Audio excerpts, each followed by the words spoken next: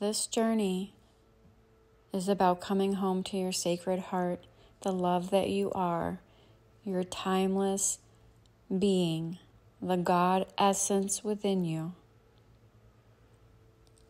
And if you have met your twin flame on this journey, their role is as a catalyst for this, first and foremost. It's easy and it's a necessary part of the journey to get caught up in the dualistic play of chasing or seeking outside of yourself and allowing the egoic mind to go into the past or future projections in order to attempt to fill this inner void that you're feeling when you ultimately face the deep rejection, abandonment, and or betrayal that your divine counterpart triggers. This void is not fillable by any external means. And you can even say that that's the case whether you're trying to fill it with money or a new career or moving or finding a, you know, whatever, any anything that you're trying to do to fill this void, especially when it comes to a relationship because the relationship is going to be a mirror for you. And to the degree that you are running from your own heart your sacred heart, your conscious heart, the portal that connects you to the love of God, to the love of the divine, to the unity that connects all things. And the word connects, I'm probably going to stop using that word because the word connect implies that there's two separate things that can come together, and that's a misrepresentation of what I'm trying to say. Because there is no two things coming together. There's oneness, there's timeless, eternal presence. Timeless, eternal presence, omnipresence, infinite presence, which can only be accessed through your sacred heart, which is the portal. Now, oftentimes, the human heart that can be wounded and carry pain and hurt gets broken open in order to begin to allow this descent into your sacred heart. Opening up to the love that you are at the core of your being is like falling in love. Falling in love with the truth of who you are and your God essence.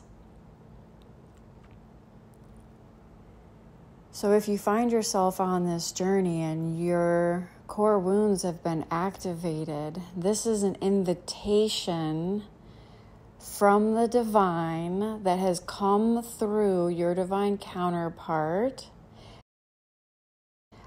for you to go inward, showing you and pointing you to for you to go inward. This is an invitation for that. And a lot of divine feminines will spend a lot of time on this journey. Instead of going inward, they will allow their awareness, their consciousness to be focused externally outside of themselves on other people in order to fill this void. And, and the paradox here is that when you come home, to the sacred heart, the love that you are, the timeless essence of your being, There is only this. There is only this beingness that is all things. So, this mental concept of others, even other people, falls away because you begin to see that you are connected to everyone and that they are all a reflection of you. Now, on this journey, in this incarnation, your soul, the divine essence of your being, chose your twin flame, which is a mirror for you, as your catalyst for this journey.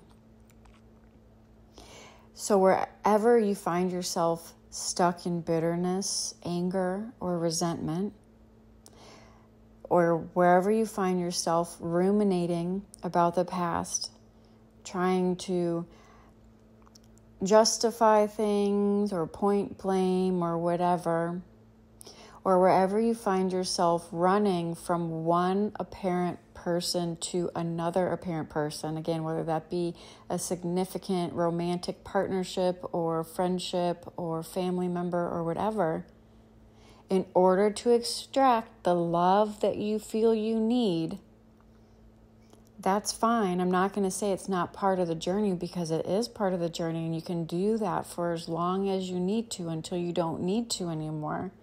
But for those of you that have the ears to hear this, and are at that place where you are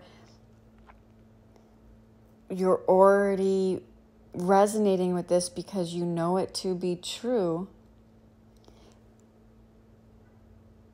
it's time to fully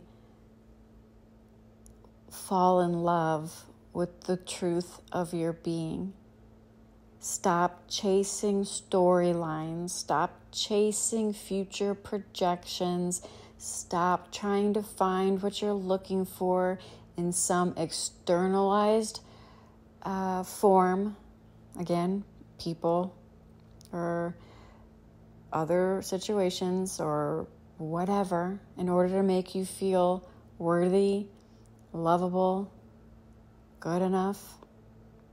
Because the love that you are seeking outside of yourself already exists within you at the center of your being, beyond time, beyond the world of form. It cannot be found in the future. It cannot be found in mental concepts or projections, and you cannot think your way there the timeless essence of your being is your sacred heart that exists now and is the portal that connects you to the love that you are and to the God essence within you. Now, there's nothing that needs to occur in your reality for this to be true now.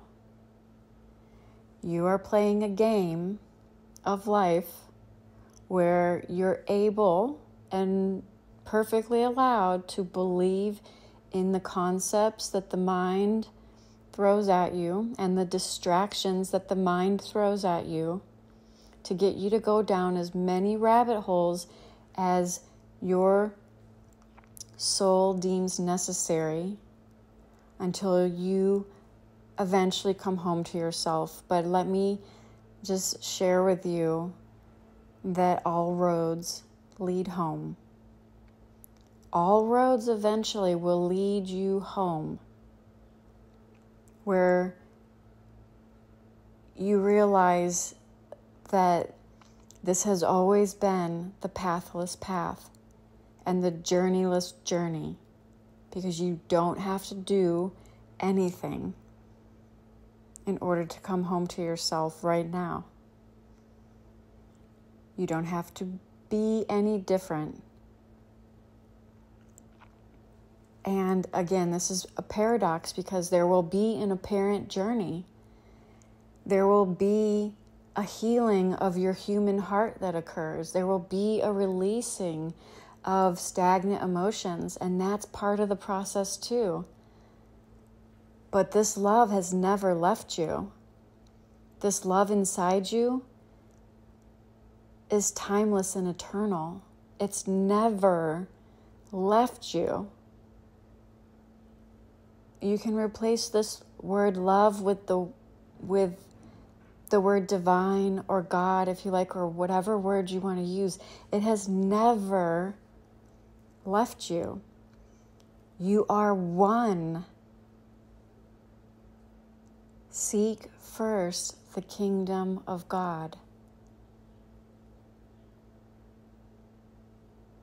Meaning, come home to your sacred heart, to the love that you are, to the God essence within you. And from this place of being, from this beingness, right? Because you can only be this. You can only be this love. You can't do anything to be it. You can only be it. And as you be one with the love and God essence within you, guess what happens in the 3D world that is only a reflection and mirror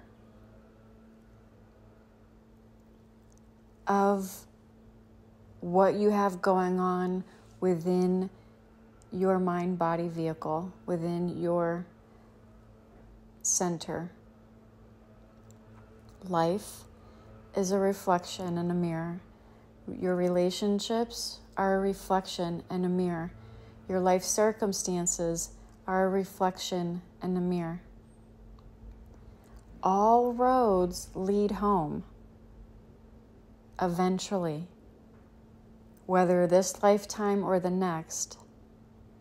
But if you're listening to this, you chose this lifetime to awaken to the divine essence that you are at the core of your being. Recognize the egoic mind at play that wants to distract you with externalized things outside of yourself. And again, this is a paradox because there is no outside of you truly, because your divine essence, your God essence, is omnipresent, timeless, infinite, and eternal. This oneness is all things. So, in truth, there is no outside of you. You are everything. It's impossible to speak of the divine essence of that which you are and embodying it in this 3D reality without speaking in paradox. Are you willing to trust fall into the love that you are? If you truly knew that you are a child of God and the God essence is within you, as you, through you, and you are one with all of creation, would you need to seek anything? The, the egoic mind does not like to hear this. You may be feeling resistance right now internally as you hear this, and that's beautiful because with your awareness, you can recognize how strong the egoic mind's pull is on your conscious divine presence. Seek first the kingdom of God and life will reflect that back to you. Try to muscle your way through this journey with the egoic mind, seeking things externally outside of yourself because, let's be honest, at the root of that is fear based consciousness or lack consciousness in some way that underpins all of those actions or inactions that the egoic mind hooks you into. If you continue to allow the egoic mind to pull you, you will continue to suffer on this journey. And that's all fine too. I can't say that there's anything wrong with that because suffering is the great awakener. Many people suffer before they awaken to their true nature, before they are able to fully live from the divine presence that they are. And so, suffering is necessary on this journey until it's no longer necessary. And if you're listening to this and you're still with me and you haven't clicked away to go find some other mind food out there to feed your egoic mind, then you are ready to hear these words. I am not speaking to your mind. I'm speaking to the core of your being that already knows that this incarnation is for you to come home to yourself and set yourself free from the mental prison and projections that your mind will cast on you. This is the message that wanted to come through. I hope this finds you well. If you did get value from this, I would love to hear from you in the comments. If you feel there's other people that would benefit from hearing this message, please like it, please share it. And until next time, I hope this finds you well. Namaste.